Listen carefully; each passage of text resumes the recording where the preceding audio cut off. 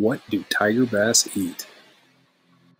Tiger bass are a cross between a female Florida largemouth bass and a male northern spotted bass, developed in the 1990s to have a hardy, fast growing bass that has the best traits of both parent species. They are a greenish brown color, the broad mouth of a Florida bass, with vertical bars and the aggression of the northern spotted bass. They have a streamlined body shape with a forked tail and sharp dorsal spines.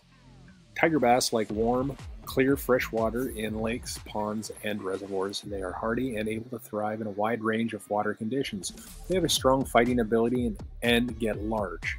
They eat other bass, small fish, crayfish, and aquatic insects. The world record tiger bass weighs 14 pounds.